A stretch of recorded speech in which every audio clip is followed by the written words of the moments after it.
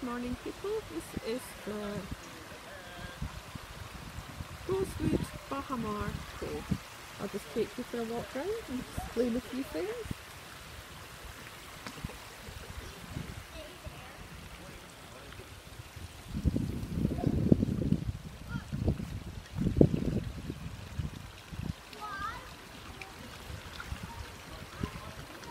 Some small cabanas.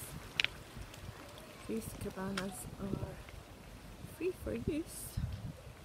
Um, yeah, anyone can come in and use them.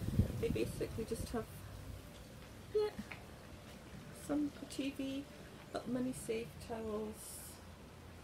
Yeah, quite simple. Big fan on the roof, but as I said, all free to use. So there isn't many resorts where the cabanas are free. Come up here. The um, the staff like to come round. They always come round with um, bottles of water, sunscreen, cool towels. Nice the hotel.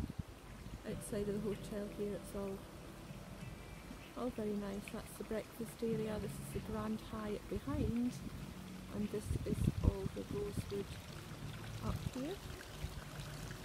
And then nice little walkways round.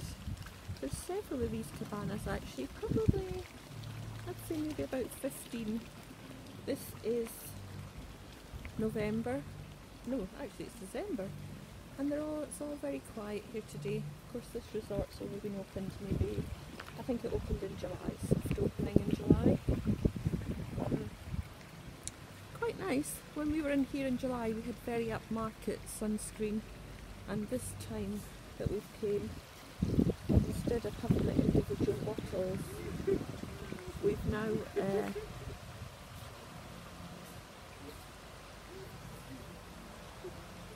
we've now been given the little um, cardboard tubs with the sunscreen poured in them. These are the, these pools up here are the uh, three adult only pools and then you come down down here and it's uh, children. Children are allowed in this pool here which is quite nice, quite a bit noisier. Um, more going on but uh, quite quiet. The garden is here obviously feeling very cold and wrapped up in the winter. It currently sits about 82 degrees. This is the the restaurant over here. This is the serving snacks all day. Uh, food is absolutely delicious. You can sit in little individual cabanas. That's a nice, some nice fish. Yeah. And that's it. Just waiting on the sun coming over this this big building. Shouldn't be too long. It was lovely. Four foot deep.